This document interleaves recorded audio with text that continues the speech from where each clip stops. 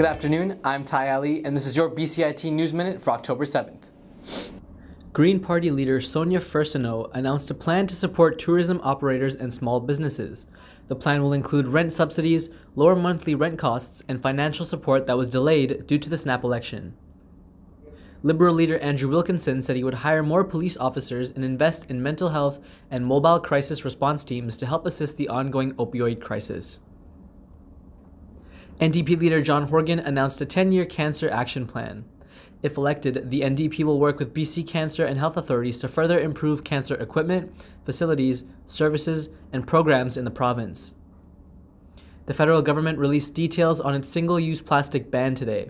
The ban will go into effect next year and will include plastic straws, takeout containers, cutlery, and grocery bags, along with many other single use plastics. An entire class at a Surrey elementary school has been told to self isolate after a COVID 19 exposure. The affected school was Rosemary Heights Elementary. More than 60 schools in Metro Vancouver have had exposure warnings, but none of those have been deemed outbreaks. That was your BCIT News Minute for October 7th. I'm Ty Ali.